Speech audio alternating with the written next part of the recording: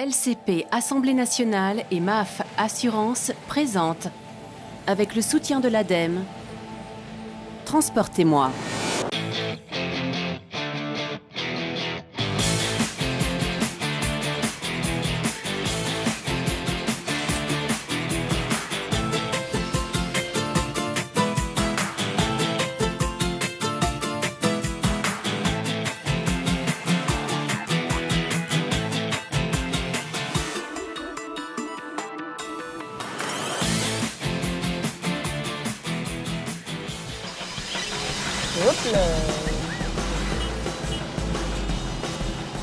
Bonjour et bienvenue dans Transportez-moi, le magazine de l'écomobilité.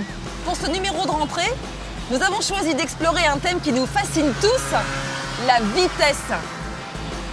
Et pour bien commencer l'année, nous avons rendez-vous sur une piste d'essai ZE. Bah attendez-moi ZE pour zéro émission. Rendez-vous avec un invité très très prestigieux, Alain Prost, quatre fois champion du monde de Formule 1. L'homme qui a roulé à plus de 300 km/h nous dira si la vitesse est toujours une valeur d'avenir. Depuis que l'homme se déplace, depuis qu'il voyage, il rêve d'aller toujours plus vite, toujours plus loin. Et ce n'est pas notre chroniqueur Gérard Felzer qui dira le contraire. Cette semaine, Gérard a choisi de nous raconter le mythe du vol hypersonique, plus de 6000 km/h. Un mythe qui pourrait, vous allez le voir, devenir réalité très prochainement.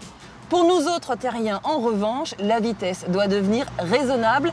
Elle a désormais atteint un coût absolument exorbitant. Et pourtant, tout a commencé il y a moins de 200 ans avec des engins qui ne dépassaient pas 10 km/h. 10 km/h.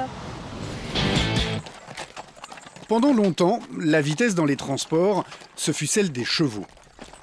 C'est avec ce genre de voiture, aujourd'hui réservée aux touristes, qu'on voyageait autrefois à travers toute la France. Et le moins qu'on puisse dire, c'est qu'on avait le temps d'admirer le paysage par la fenêtre.